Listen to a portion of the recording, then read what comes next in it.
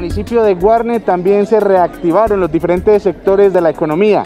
Conversamos con comerciantes, con transeúntes e inclusive con el alcalde, quien hace la recomendación a la ciudadanía para que mantengan los protocolos de bioseguridad en todas las actividades que puedan desarrollar en el espacio público. Bueno, eh, la gente muy contenta y a la expectativa nosotros desde la parte de la salud para que sepan que aunque se da apertura a todas estas actividades comerciales, pues eh, no descuidemos que el virus no es que se haya ido.